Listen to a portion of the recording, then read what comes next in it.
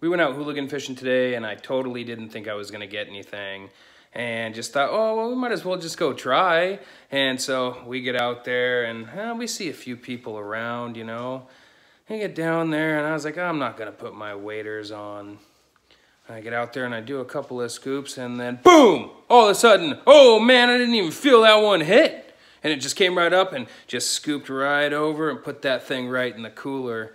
Man, we thought we were in them now. So I said, babe, go back to the car, get your waders on. And guess what? She came back. When she was gone, boom, got another one. Scooped it right up. She didn't even, she said, she came back she said, you got another one? I was like, oh yeah, get down here. It is hot.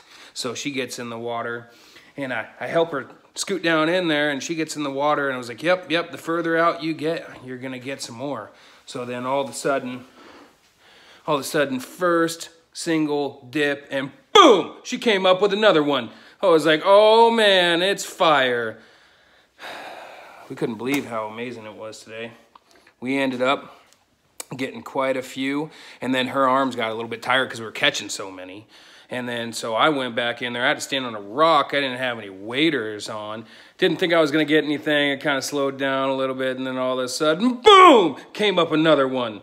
It was crazy.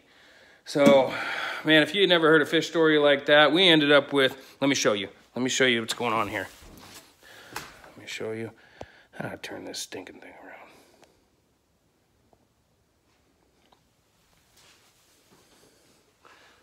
We ended up with eight. Eight! It was amazing. It was a really fun day. So, anyways, I'm going to take care of these things. Could be an all day kind of a thing. Got the eight foot smoker outside. I'm hoping it'll hold all this.